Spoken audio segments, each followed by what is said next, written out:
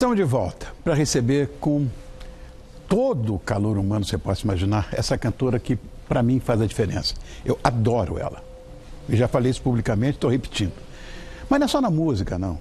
É, no seu discurso, é, na vida de muitas pessoas. A música dela, por exemplo, Era Uma Vez, já tem 150 milhões de visualizações no YouTube, 32 milhões de execuções no Spotify. Fora que é a coisa mais linda do mundo, não precisava nem cantar, mas canta, e tão bem que você não faz ideia. Olha quem está aqui, Kel Smith.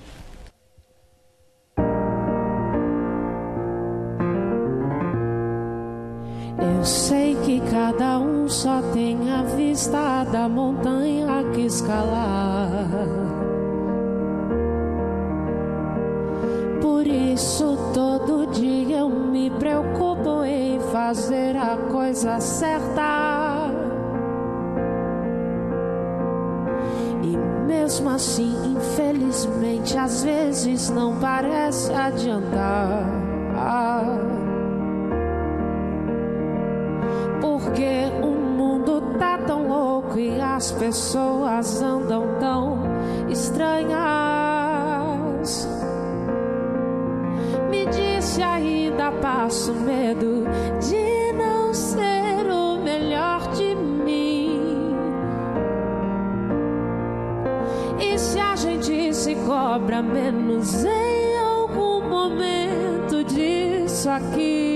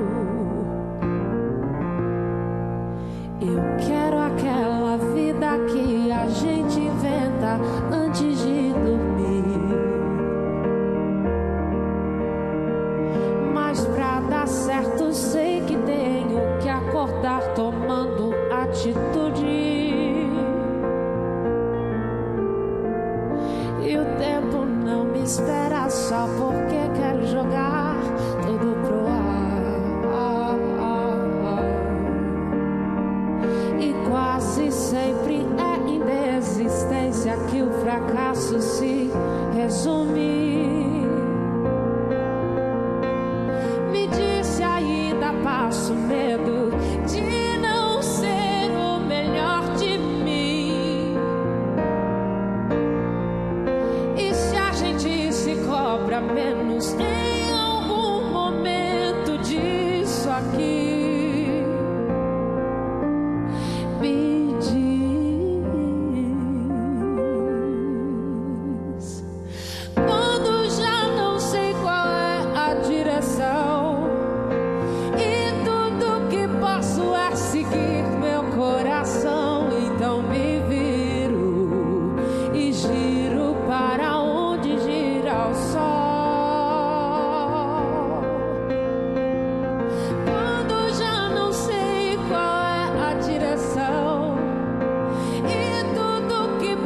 É seguir meu coração. É por instinto que eu encontro a luz ou girassol. É por instinto que eu encontro a luz.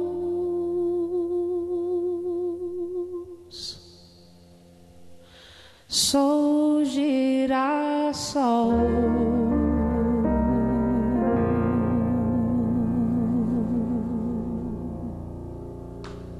Bravo! Bravo!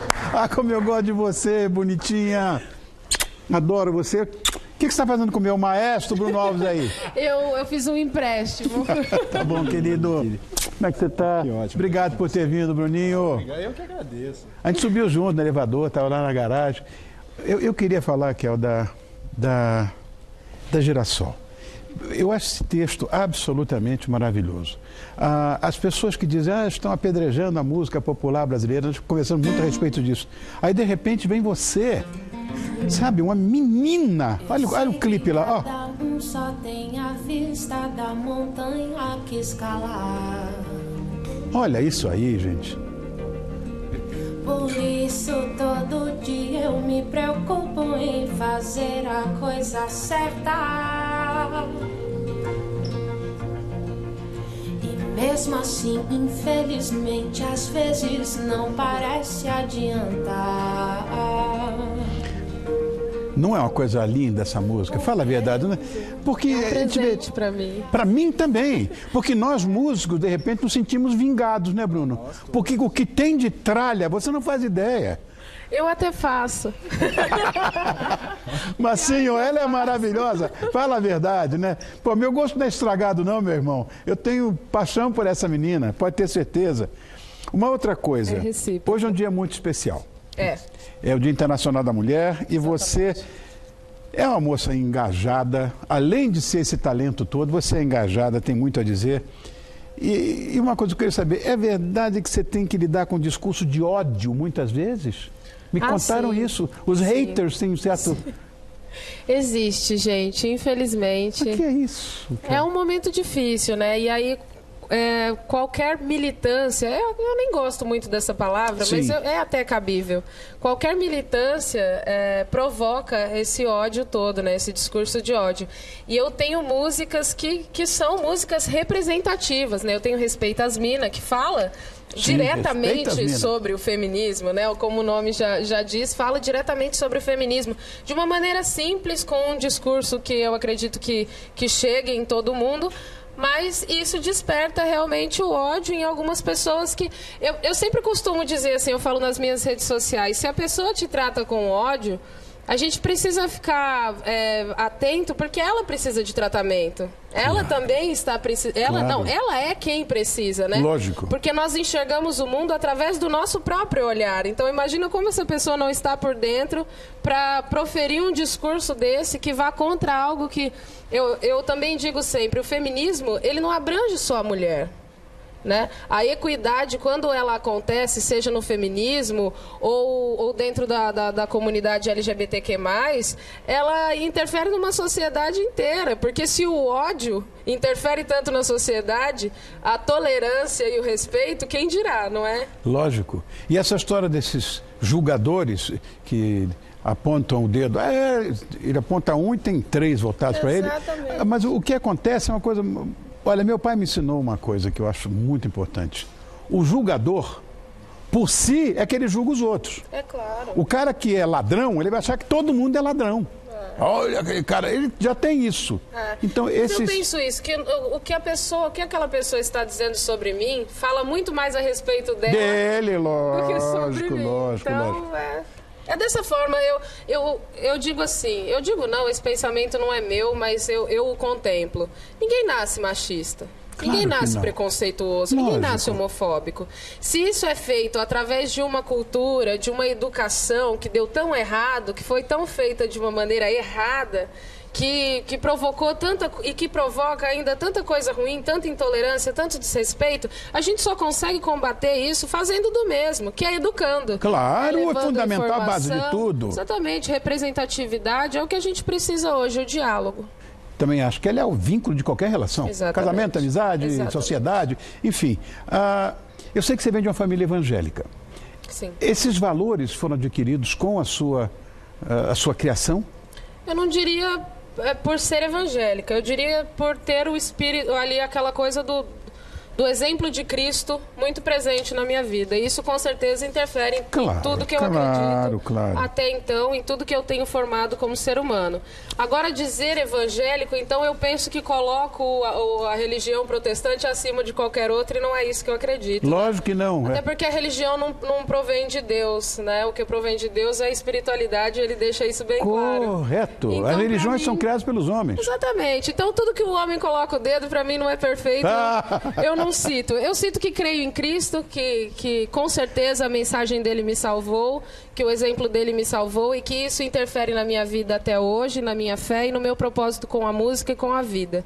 Agora, sobre ser evangélica ou ter crescido na igreja evangélica, eu acredito que foi só um bônus musical, porque Cristo está onde ele é bem-vindo a estar. Ah, que bonitinho de ouvir isso. Bom, você encoraja muitas outras meninas, viu, Kel? Eu vou dizer, ah, o que você tem a dizer àquelas que estão, vamos dizer, sofrendo com relações abusivas?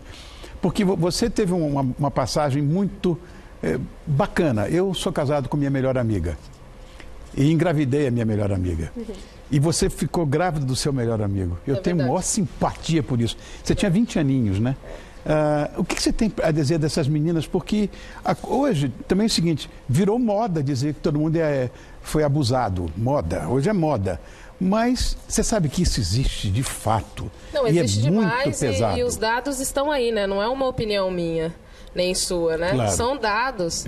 Né? O, o, o, nosso país é o país que, que mais é representante, infelizmente, do feminicídio no mundo. É verdade. Então, é o país que mais mata homossexual no mundo. Então, é um, é, já é um estado de alerta, né? É uma questão muito de, de da sociedade como um todo e de caráter se para essas garotas, essas mulheres ou meninas que estejam em situação de abuso, o que eu posso, o que eu posso indicar é o diálogo, é que você se abra com alguém, existe um número que é 180 que você pode entrar em contato se você conhece alguém que esteja numa situação de abuso, seja ele psicológico, físico, seja qual for. Existem diversas ONGs que podem amparar essas mulheres, diversas maneiras. O importante é que você não pense que você está sozinha, você não é a única mulher que passa por isso e com certeza nós temos uma solução juntas, porque juntas nós somos mais fortes. É isso que eu tenho para dizer para todas elas. Não é à toa que eu gosto dela. Você entendeu? Uma coisa mais linda, você é a coisa mais linda do mundo. Bruninho, você vai encerrar o programa hoje com, com a Kel, tá? Você vai encerrar. Não, eu vou dizer uma coisa. A, a, a gente. Eu, você quer deixar algum recado? Tem alguma coisa? Eu estou com um monte de coisas aqui, né? Ah, eu quero deixar meu Instagram, kel.smith. É isso. Acho Fala que é o Instagram, isso. qual é? Arroba kel.smith, meu Instagram. Acabou. É isso, me Kel, sigam. dois estejam L's? lá pertinho comigo, Kel, KE, dois L's e ponto Smith. Beleza, ó. Assim a gente encerra o programa de hoje. Eu desejo a você um, um final de semana impecável. Segunda a gente está de volta no nosso bate-horário, que é 22 horas. Para você, meu amor, feliz Dia das Mulheres, né? Que Obrigada. hoje é o dia, é um dia uh, internacional, né? Para nós homens também, né? Que todos somos filhos de uma, pelo menos, né? É, Pai, sempre incerto. Mãe, sempre certa. Então, é verdade. Não é verdade? Exatamente. É verdade. Quanta bobagem. Obrigado. Quer, vai, vai, encerrar o programa com meu brother Bruninho Alves. Obrigado, querido. Obrigado. Nós. Sempre. Obrigado. Amo você. Eu é que te amo. E amo você também, te querido. Amo. Obrigado. Até segunda.